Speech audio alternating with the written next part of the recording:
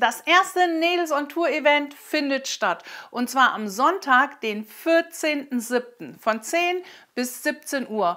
Und wo? In Griesheim, in und um das Stofflager drumherum. Mit dabei sind auch noch die Firma Schmeds, die Firma Brother, die Firma Lutherloh und Schnittenliebe. Ihr könnt da Sachen ausprobieren, ihr könnt neue Sachen sehen. Es gibt so kleine Mitmachbereiche. Ihr bekommt da Sachen gezeigt und ihr könnt den Tag dann natürlich auch noch einkaufen. Essen und Getränke wird es den Tag natürlich auch noch geben, damit wir einen wundervollen Tag mit netten Gesprächen, tollen Stoffen, neues Wissen und natürlich einfach nur mit vielen, vielen begeisterten Mädels verbringen können. Also tragt euch den 14.07. in den Kalender ein. Die Tickets gibt es auch schon zu kaufen und den Link zum Ticketshop packe ich euch mal unter das Video in die Infobox.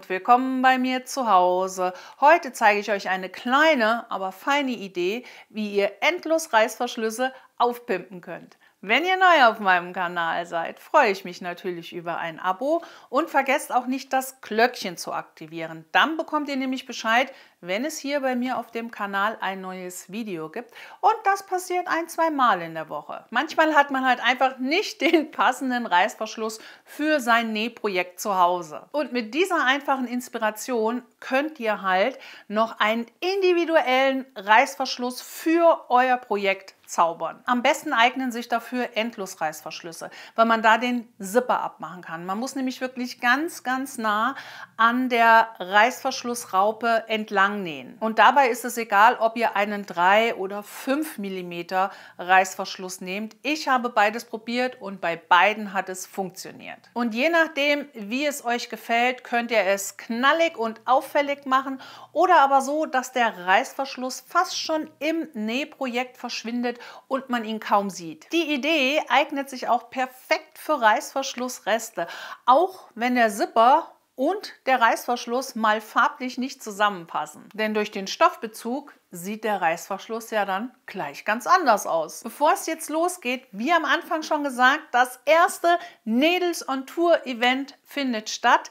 Tickets gibt es zu kaufen. Den Link zum Ticketshop packe ich euch unter das Video in die Infobox. Und falls ihr nicht wisst, wie die Infobox aufgeht, dazu habe ich schon mal ein Video gedreht. Das verlinke ich euch jetzt mal hier oben bei dem i. Wenn ihr meine Arbeit hier auf YouTube unterstützen wollt, dann gebt doch dem Video gerne einen Daumen nach oben. Und jetzt wünsche ich euch viel Spaß.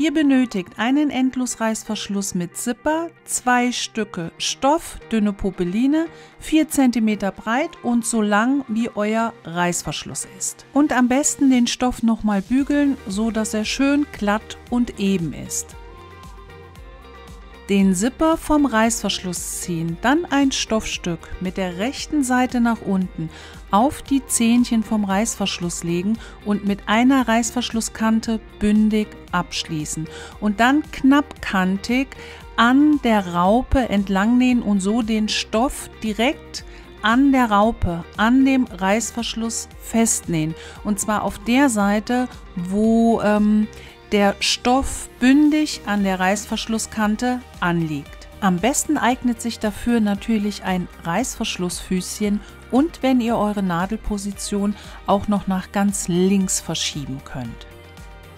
Den Stoff von den Reißverschlusszähnchen wegziehen, so dass nun die rechte Stoffseite nach oben zeigt. Am besten noch mal etwas drüber streichen und dann von der Rückseite knappkantig an der Reißverschlusskante entlang den Stoff am Reißverschluss festnähen. Ich nähe übrigens mit einer 90er Universalnadel und habe die ganze Zeit eine Stichlänge von 2,5 genommen. Den überstehenden Stoff einfach direkt an der Reißverschlusskante entlang abschneiden. Und die erste Seite ist schon fertig verziert, also wirklich easy peasy.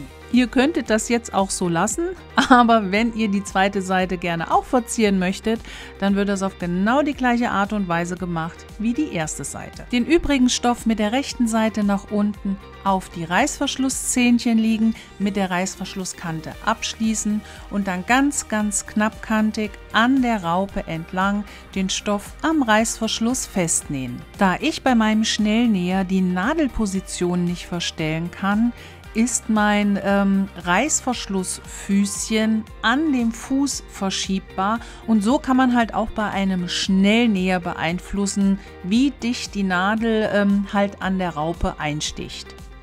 Wieder den Stoff von den Reißverschlusszähnchen wegziehen, drüber streichen und dann von der Rückseite knappkantig festnähen. Man kann natürlich auch ganz vorsichtig den Stoff umbügeln.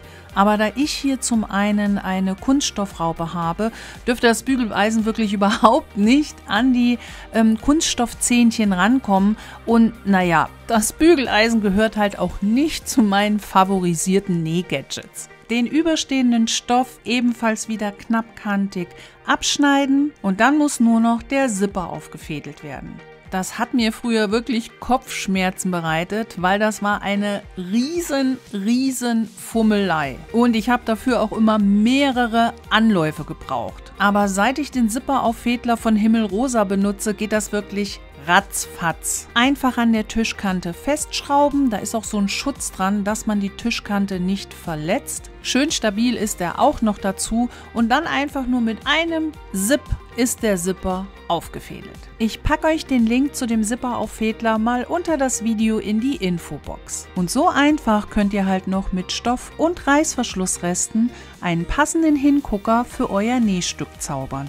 Und wenn ihr Lust auf einen wundervollen Tag habt mit tollen Gesprächen, Stoffstreicheln, Rabatten und natürlich mit lauter anderen nähverrückten Nädels, dann kommt am 14.07. zu unserem ersten Nädels on Tour Event in Griesheim. Ich mag ja diese kleinen Ideen, die man bei vielen unterschiedlichen Nähprojekten mit einbinden kann, besonders. Denn egal, ob ihr jetzt ein Schlüsselmäppchen, Kosmetiktäschchen, Rucksack oder Tasche näht, überall könnt ihr diese kleine Reißverschlusstechnik anwenden und so halt nochmal einen absolut individuellen Touch eurem Nähprojekt geben. Und ich wette, bei vielen von euch zu Hause liegen Reißverschlussreste rum. Manchmal braucht man halt eine bestimmte Farbe für das eine Projekt und hat dann nur noch so ein Stückchen übrig und diese Farbe passt dann aber zu keinem anderen Projekt mehr, was man hatte. Und mit dieser einfachen Idee könnt ihr das halt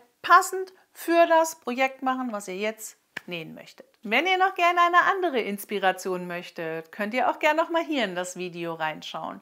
Dann wünsche ich euch jetzt viel Spaß beim Durchstöbern eurer Reißverschlussreste und natürlich auch viel Spaß beim Nachnähen. Bis zum nächsten Mal.